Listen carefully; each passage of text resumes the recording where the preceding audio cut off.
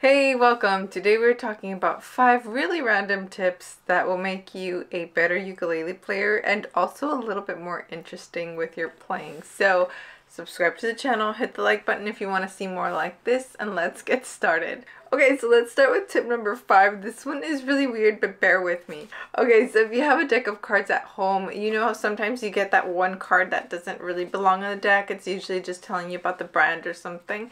So I tried weaving this whole card in the strings because I thought like it'd be cool like Johnny Cash with his dollar bill. Um, that didn't work on a ukulele. So what I did is I cut the card until something finally did work. And so what finally ended up working for my ukulele was a strip that is this size. And all I did is I went over, under, over, under on the strings. So now when Johnny Cash did it, it was to achieve a percussive sound. So this is not going to be like the most beautiful melodic sound on the ukulele. This is more to just kind of add that like kind of rattle to it that you would hear in a snare drum like on a drum set or something like that. So I'll give you a playing demo. This is just a fun one, but it sounds totally different if you use paper or if you use like a dollar bill. Um, just know that for ukulele, because their scale size is smaller, you will have to um, cut the dollar bill. So that's why I'm not using money on this one. Okay, the open ukulele sounds like this. And then I'm going to play just a C A minor F G chord progression.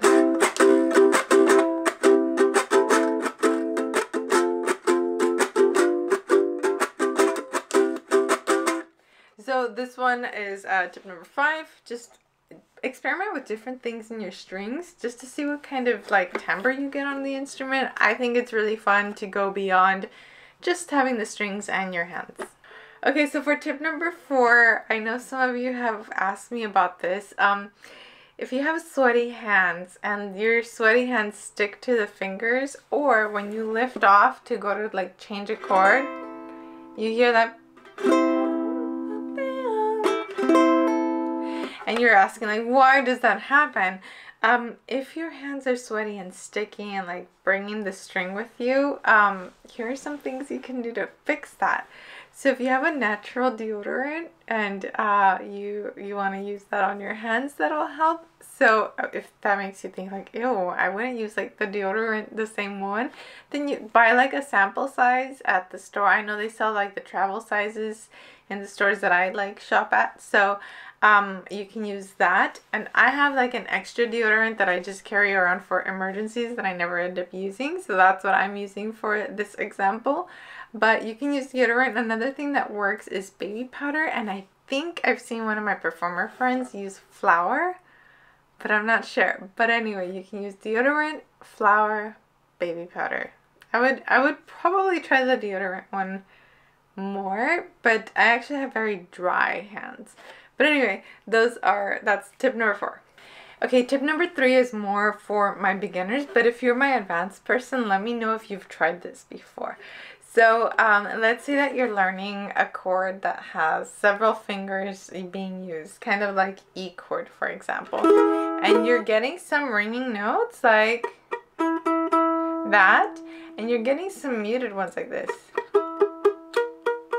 And so you're just like really frustrated. So something that I've haven't really seen anybody do is to really take the ukulele like this, like this, like this, and look down the fretboard and check to see if your fingers are touching the strings. And actually, try this out with any of the chords that you ever struggle with. Like literally just take the ukulele, like hold the position and take the ukulele and look down and see if you can readjust your fingers like being able to see how the fingers go press the strings and how like sometimes we're a little lazy and we press the string next to it so just looking at the ukulele you you can see like oh my goodness like I have terrible form here's where I need to fix it. Now along those lines and while I do this please hit the subscribe button and the like button that really helps the channel out.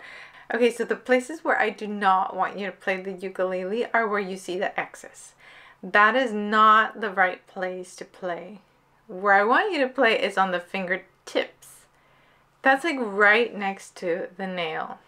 So yeah, that's a random tip that I've used with students before and it just makes chords click because you can see it and they sound a lot better right away. So yes, let's move on to the next one. Okay, so let's say that you could not play with the top tips. Chances are that your nails are too long on the fingerboard hand. So for that reason, I would like for you to keep one of these in your gig bag or wherever you keep the materials for your ukulele playing and at least once a week give your nails a trim because having those really nice short nails on the fretboard hand is like it's really going to improve your form. I have short nails on the fretboard hand and long nails on the picking hand. You don't need long nails on the picking hand, it kind of helps. Um, and I guess a little tip for the picking hand, you do not want your nail to look like this.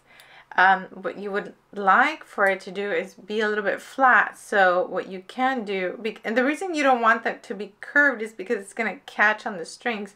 So what you can do is go in and kind of like clip off those little curves at the edges or you can um, file them a little bit. So what you want is the nail to be nice and kind of almost straight so that it won't catch the strings and go All right, and now we've made it to our last tip. But before we go on to that one, let me tell you about the ukulele that I'm playing. Today I am jamming with the Bougainvillea ukulele from Enya. This is actually a ukulele I collaborated with. So this is the Bernadette signature ukulele.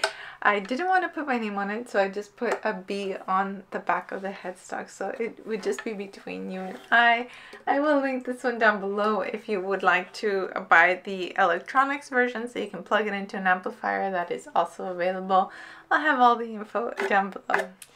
Okay, so the last tip that I would like to share with you on how to be a better ukulele player is something that probably we have all done or do, and this is a habit that I think would be nice to get rid of. Um, many of my students, what they'll do is they'll practice the song from the beginning and then they'll continue playing until they get to a tough part, make a mistake, and then go back to the beginning and practice the whole song again and then they'll make the mistake again and then go back to the beat. anyway what they're doing is actually practicing the mistake and practicing to learn to play the mistake. Isn't that crazy? Like we're practicing to do it wrong. So to fix this when you're practicing play without stopping play from the beginning or play from whatever and keep going. Keep going beyond the mistake. Keep going past it. Now, when you want to fix a mistake, what you do is you just practice the chunk of where you're making the mistake and slow it down a lot. A lot. Like whatever you think is slow, double the amount of time. So make it very slow and then practice just the part you're making a mistake. Then, then, then, then, here's key. Practice a little chunk right before the mistake and master that. And then practice the little chunk right after the mistake and master that.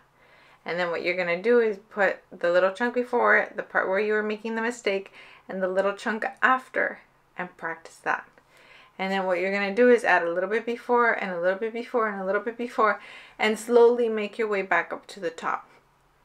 I can't say that I've seen many people practice this way, but it is such an effective way, not only to learn how to play beyond a mistake and master that section, but also to memorize because you're going to work so much on that piece and going into it. So if any of you have struggled with memorization, this is really going to be one of those things that kind of doubles up and helps you with that as well. In the comments below, let me know which one of these tips were your favorite and if you have another funky random tip that works for you, share it down below. If you would like to do lessons with me on Patreon, we use Zoom, so we all turn on our cameras. I'd love to have you there. So I'll add the link to my Patreon site down below. I also give my patrons a lot of printables and extras, so join us there. Alrighty, well, I'll see you in the next one. Sayonara!